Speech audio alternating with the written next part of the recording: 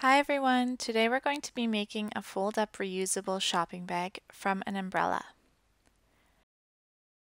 First, find yourself a broken umbrella and carefully remove the fabric from the frame of the umbrella.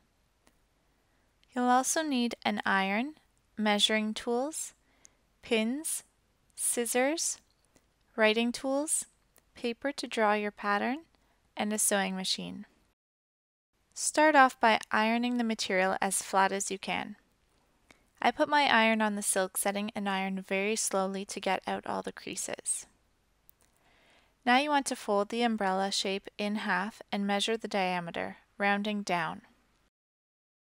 We'll start drawing our pattern by drawing a rectangular shape with one side measured as the radius of the umbrella and the other 40% of the diameter. Draw a temporary line at the halfway mark of the shorter side. Mark two and a half inches down from this line. This will make your strap width. Now set your compass at 3 inches and draw a 6 inch circle below the mark you just made. Half an inch under this circle, draw a line to the edges. From the very top of the pattern, draw two curved lines to the line along the side edges. This gives you your completed bag shape and you can cut the pattern out.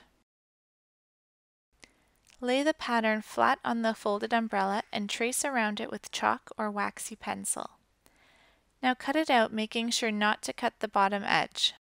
Do the same on the other side, tracing and cutting out the pattern. Now you're left with the outside shape of the bag.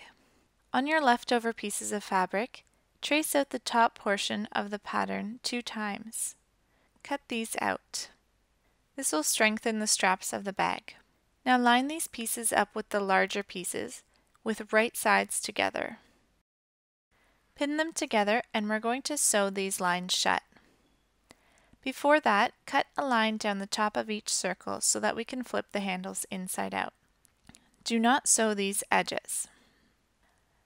I'm also going to sew a piece of fabric to the inside of the bag to mend the hole from the umbrella. After I've sewn the reinforcement from the handles, I'll turn this inside out. To connect the strap pieces together, put one side into the other and connect them with a zigzag stitch. I also used a zigzag stitch to reinforce the patch at the bottom of the bag. Fold the bag in half with right sides together and pin the sides closed to be sewn. Finally, you want to make a pouch for your bag. Cut a long rectangle out and fold it into three parts, sewing up the sides. Sew this pouch into the inside of your big bag, keeping it inside out. As you turn it right side out, you can stuff the bag into the pouch, and you're done.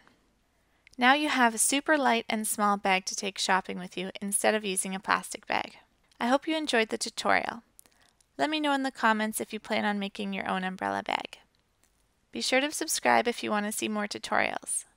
Thanks for watching. Bye!